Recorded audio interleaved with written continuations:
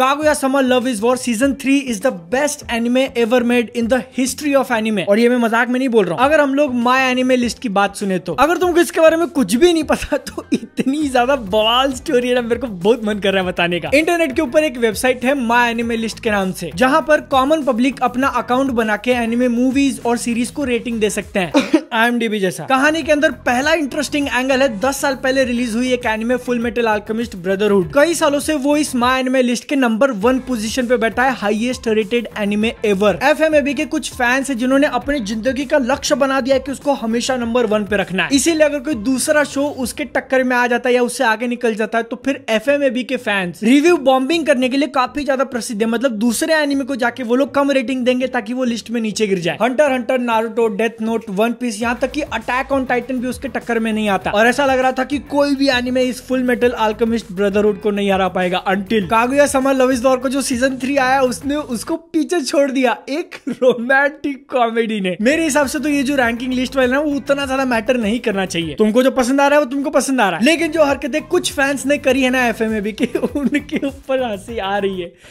Oh Kaguya मतलब जो intellectual है, वो तो ऐसे ही मानते नहीं कि ये कोई एक अच्छा एनिमे है। ऐसे जो कॉमन पब्लिक से रेटिंग लेने वाले वेबसाइट्स होते हैं ना, उनके ऊपर जनरली जब शो रिलीज़ होता है, तब बहुत ज़्यादा पॉपुलर होता है। टाइम के साथ साथ जनरली उस शो की रेटिंग घटते जाती है, जैसे और ज़्यादा लोग देखते हैं। लेकिन कागुया समा के सीज़न थ्री को रिलीज़ हुए ऑलमोस्ट एक महीना होने आ गया वो अभी भी टॉप पे है। और ये मैंने एक्सपेक्ट नहीं किया था कि भैया एक महीने तक रह जाएगा। एटलीस्ट जब तक मैं वीडियो बना रहा हूँ, तब तक तो है। लेकिन फिर ये क्वेश्चन निकलता है कि क्या एक्चुअल में Kaguya sama love is war season three best anime ever made है। मेरे हिसाब से तो नहीं। और थोड़े दिनों में वो फुल मेटल के नीचे भी आ जाएगा। लेकिन मैं इतना ज़रूर बोलना चाहूँगा कि ये जो सीज़न थ्री आया है कागुया का वो मुझे बहुत ज़्यादा पसंद आया। और उसके पीछे एक इंपॉर्टेंट रीजन है कि इस सीज़न को देखते वक्त ऐसी फीलिंग आ रही थी मुझे कि कंक्लूजन अपने सामने है। शो खत्म होने वाला है। देखो आई नो की शो खत्म नहीं होने वाला। अभी शायद इसकी आधी स्टोरी खत्म हुई है और अपने को दो तीन सीज़न तो देखने मिल ही जाएँगे। लेकिन जो कुछ भी सीज़न थ्री के अंदर अपने को दिखाया ना वो देखते वक्त तुमको फीलिंग ज़रूर आएगा कि दिस इज़ दी एंड अब बस सब खत्म। जनरली अपने को कागुया समा के एक एपिसोड के अंदर मल्टीपल सिनेरियोस देखने मिल जाएँगे। सात आठ मिनट के लिए अलग कांड चल रहा है, फिर अगले सात आठ मिनट में दूसरा स्टोरी फिर उसके आगे तीसरा। लेकिन ये पार्ट थ्री के अंदर जो एक स्कूल फेस्टिवल वाला आर्क है, वो ऑलमोस्ट आधे सीज़न चलता है। जिसके साथ साथ स्टोरी के अंदर एक और बड़ा स्टेप ले लिया कि जो लॉन्डा है मेन कैरेक्टर वो स्कूल छोड़ के जाने वाला है। पहले दो सीज़न के अंदर अपने को दिखाया जाता है कि दो लोग एक दूसरे को पसंद तो करते हैं, लेकिन खुद से बोलेंगे नहीं क्योंकि उसके अंदर उनकी डिफीट है, इसलिए सामने वाले से बुलवाना है। तरह तरह के माइंड गेम्स खेले जाते हैं इसके पीछे। सीज़न थ्री में जैसे पता चलता है कि अब एक तो उसमें से छोड़ के जा रहा है। फिर दोनों आधे सीज़न तक ये ट्रैक करने में लग जाते हैं कि मैं कैसे बोलूँ? ये जो कैरेक्टर ग्रोथ है ना, उसको मैं अप्रिशिएट करता हूँ।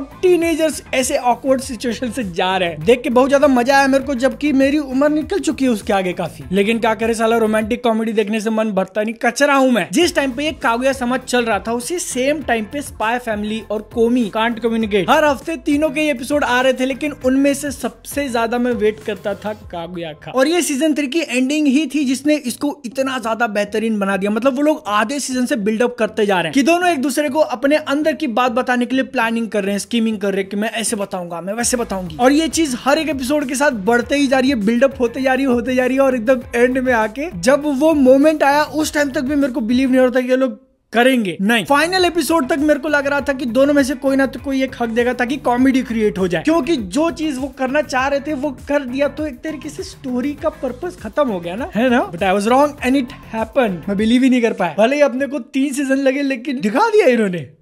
Okay okay. और उसके बाद जिस तरीके से कागुया पूरा इंसिडेंट बता रही है अपने मेड हयासका को। बोलू कि नहीं बोलू?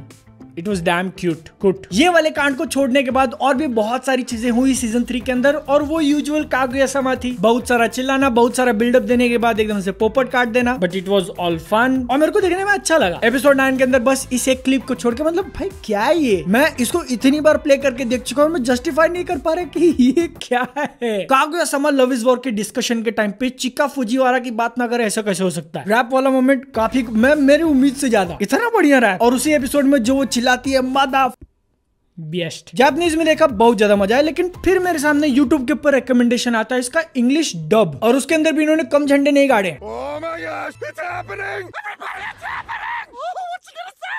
इसके बाद तो इंग्लिश में देखने का मन कर दिया मेरा फिर से। बताओ। टाइम मिला तो वो भी देखने की कोशिश करेंगे। अगर तुमने कागुया का इंग्लिश डब देखा है कैसा है नीचे कमेंट सेक्शन में बताओ। मेरे से पर्सनल करेंट करना है मैं मिल जाऊँगा इंस्टाग्राम पे वरना अगली वीडियो में जय हिंद वंदे मातरम।